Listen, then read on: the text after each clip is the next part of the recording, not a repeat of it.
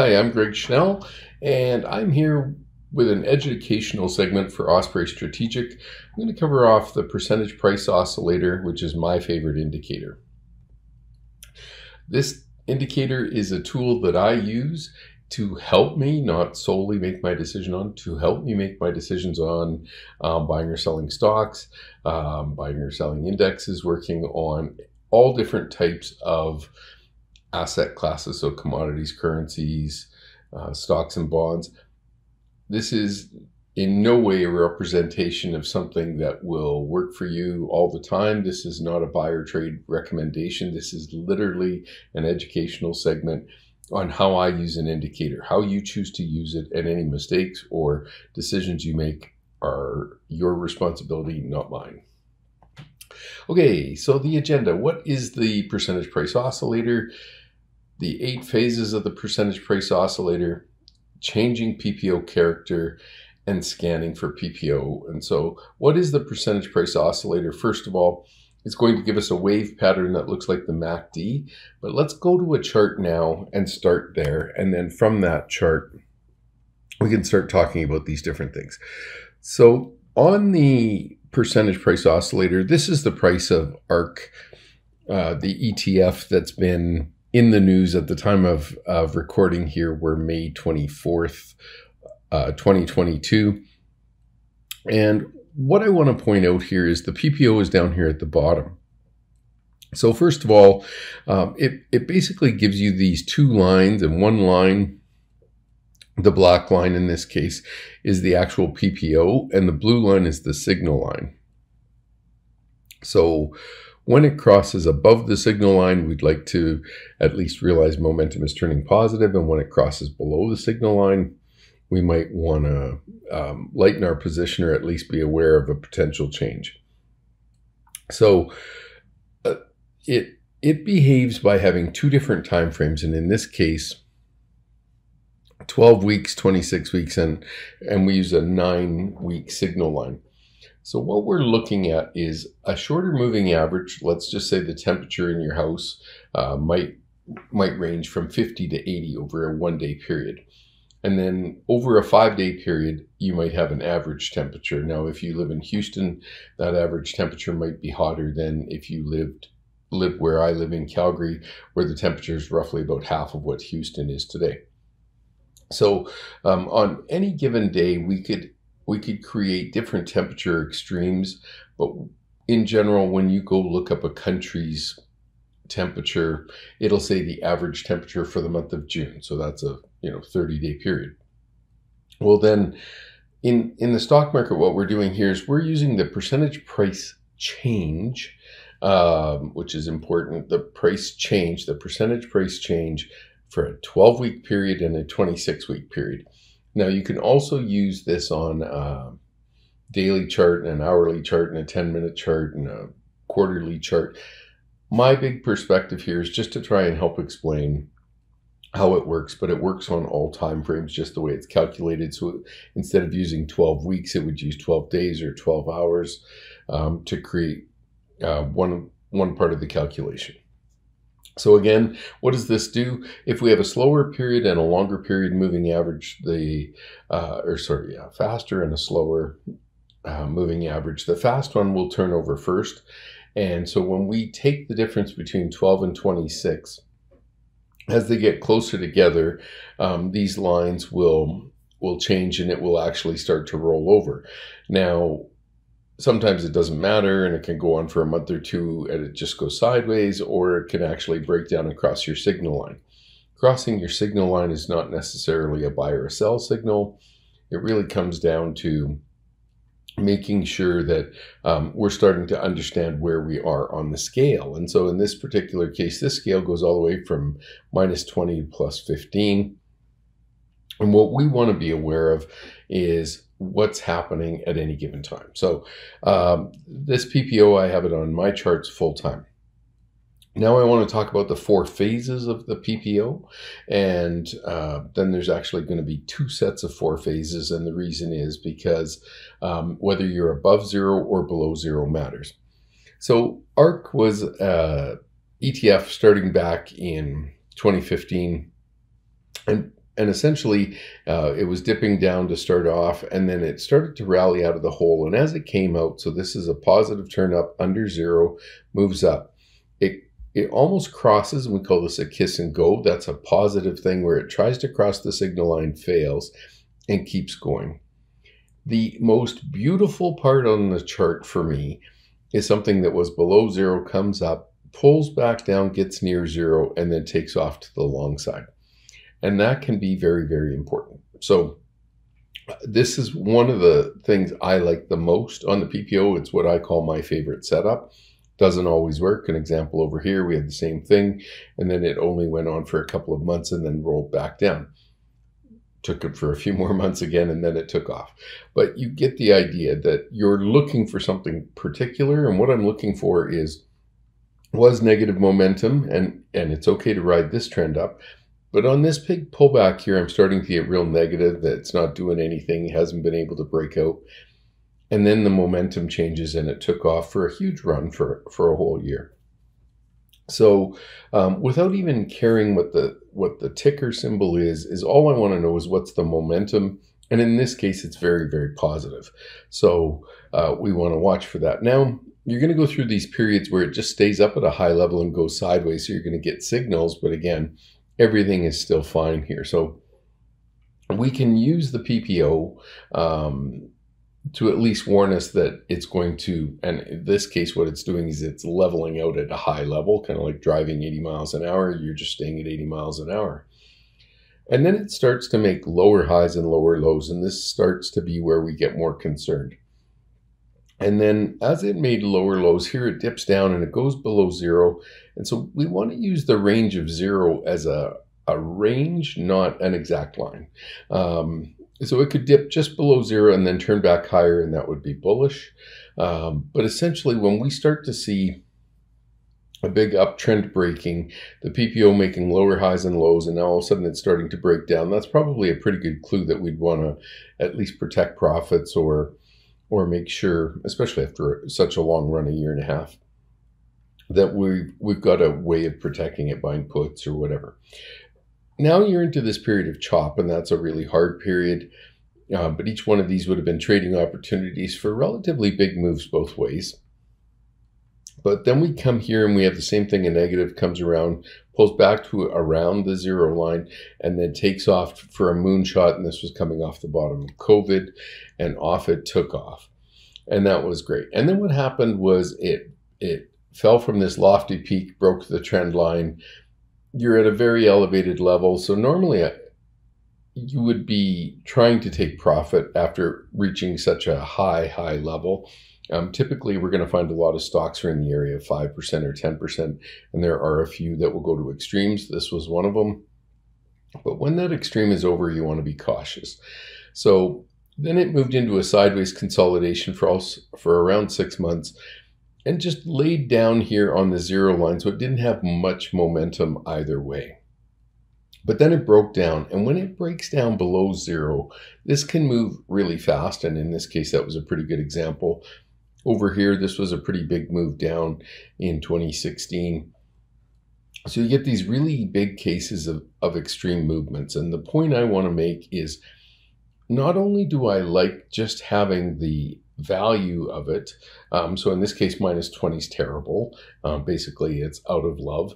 Um, but what I would try to do now in this case, I would have drawn a trend line like this across them. And I do like when the trend line breaks out. So here we broke out, pulled back steeply.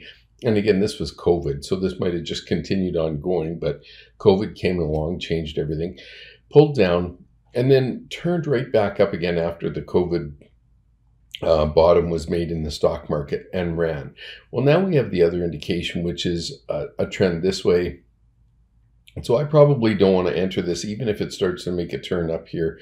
Probably like it to come up, turn up, bounce, and then maybe make a higher low after such a, a big negative sell-off. Okay, so hopefully that gives you some ideas of how to use it. But when it's negative and declining, it's awful. When it starts to make a bottom down there, that's helpful. Um, when it's close to zero, that can actually be a trading bottom. When it's really sold off like this, you're probably going to find that it does make a wave and then it makes a higher low. And when it does that, um, typically that might be the better bottom to, to buy rather than the ultimate bottom. Because a lot of times you'll see this will make a low, then it makes a higher low, but price will make a lower low. And that might give you a better opportunity. And I also like it when a big trend in momentum changes. That would be something I'd look for. So hopefully I've, I've described all of those circumstances. Up is positive always. Um, up above zero is really positive. Buying it just as it turns up above zero or turning above zero is really positive. Buying it after it has been below zero, turns up, comes back down to tests, and then take off again. That can be very profitable. Again, we don't know if you're going to end up in a period of chop like this, but I particularly like where the a PPO trend uh, is breaking and then you can get involved.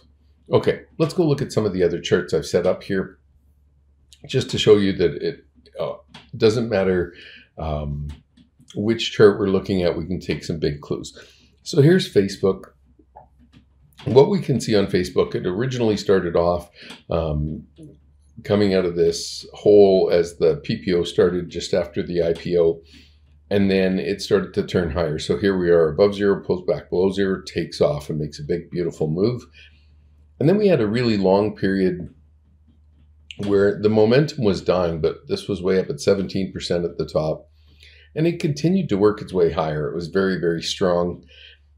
The chart was uptrending, so we draw a line under here. The PPO starts to roll down to zero, bounces one more time, and then gives it all up and falls apart. Now, this was the um, two periods in here. This was the tariff tussle with China.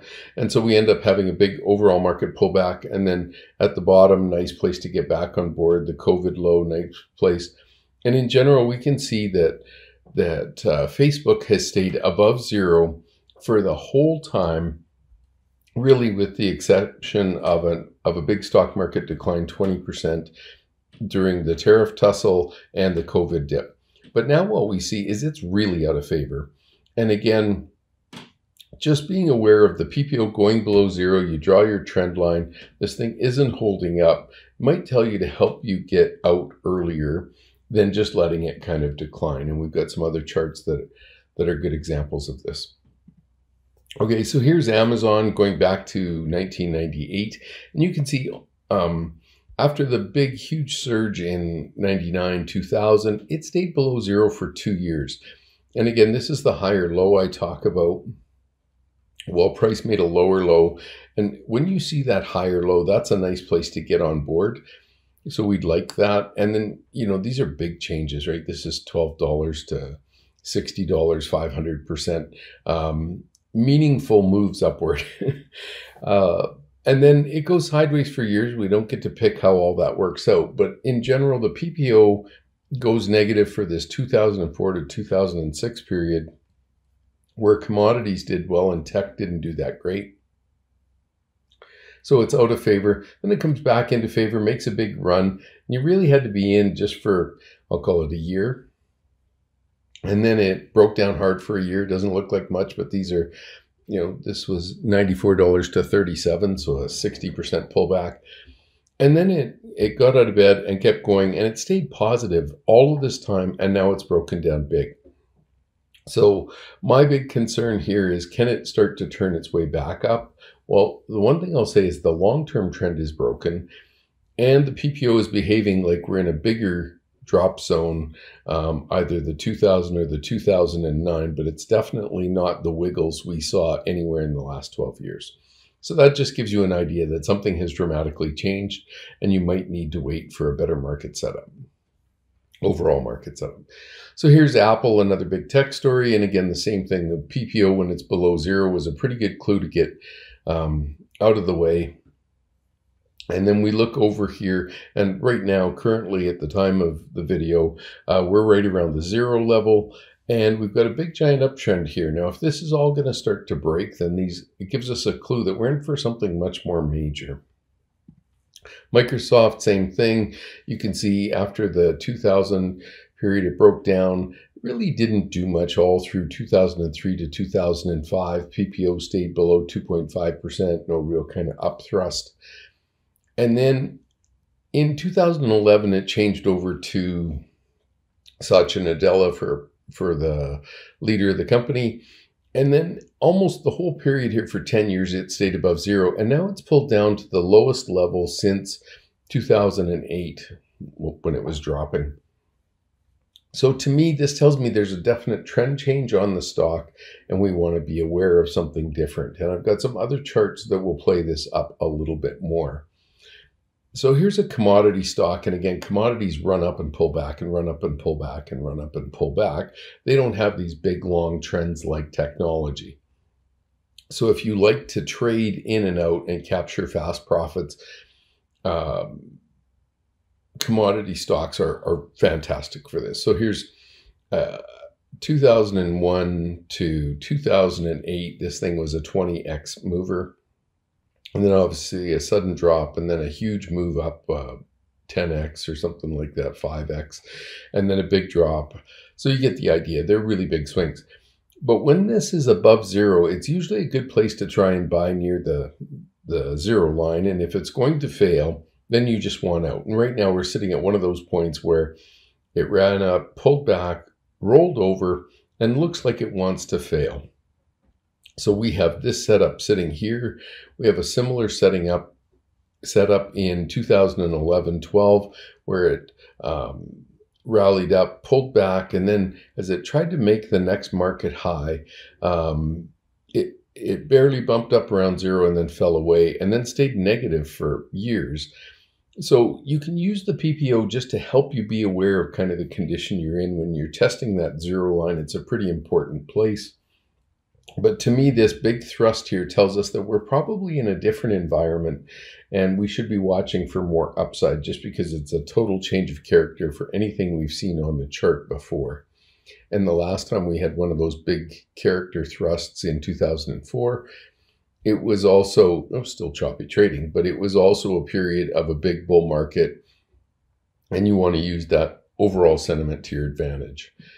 Here's ExxonMobil and again, uh, it goes through a period where it's loved, so the PPO is never below zero. Then it's below zero for a couple of years. Then it's loved for five years. Then below for three years, above for five years, below for a year.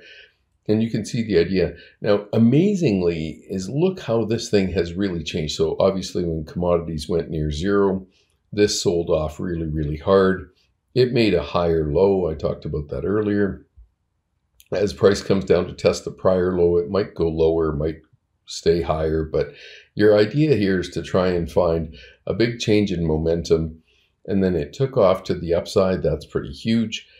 And now it's trying to, it, you know, it might end up making lower highs here, but at a very high level. So it could continue on like we've seen before.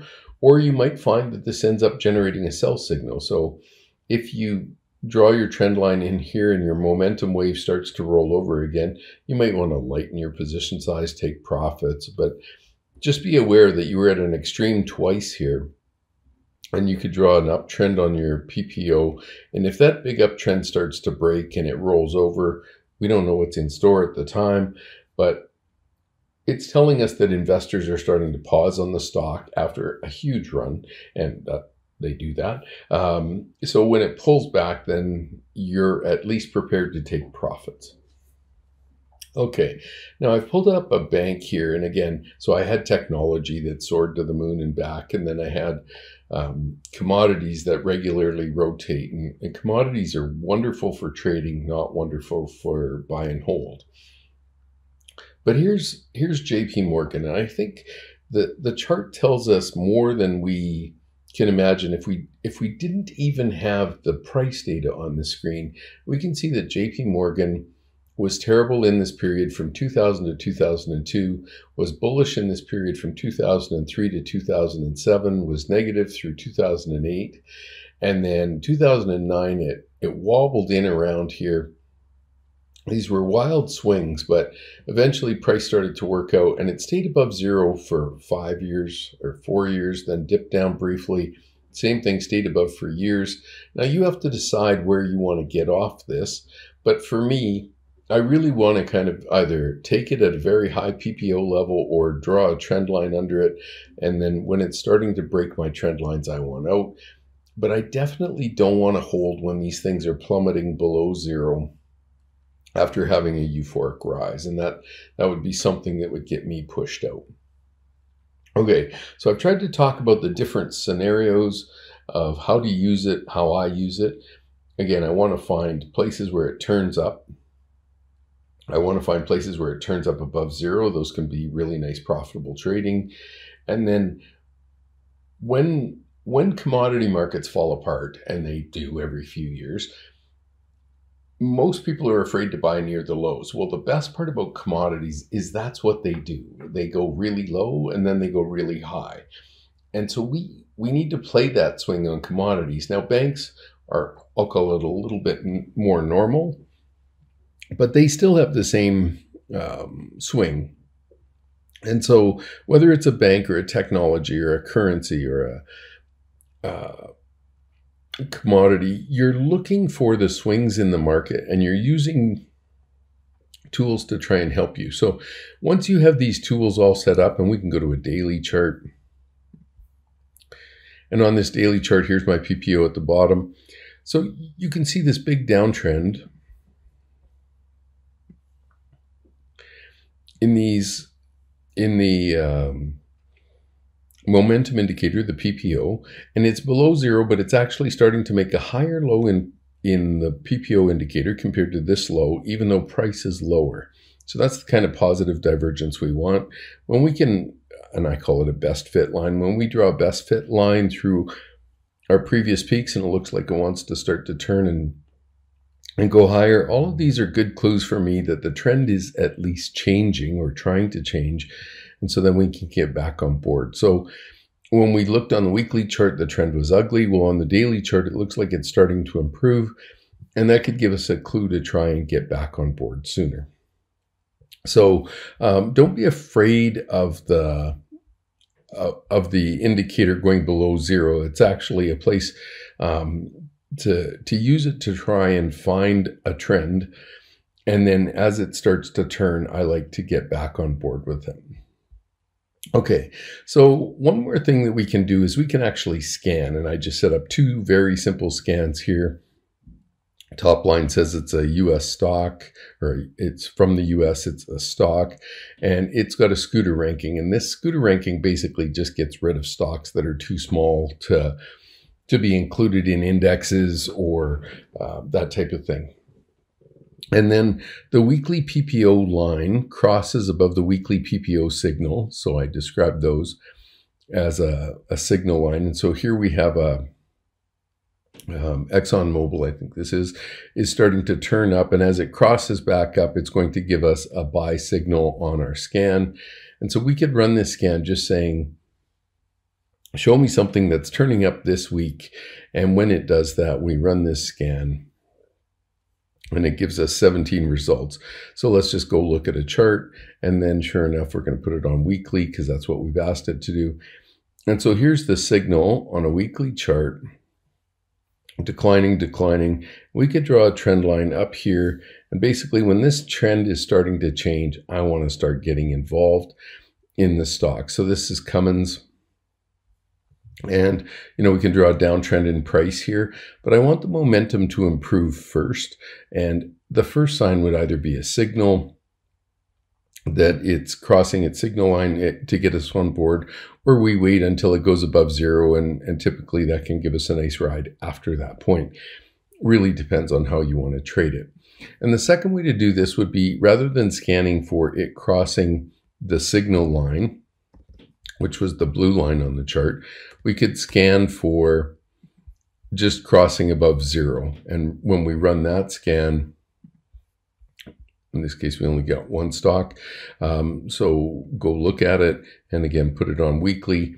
And what we're looking for is the PPO. This is nice, was below zero coming up, just trying to turn back up right around zero.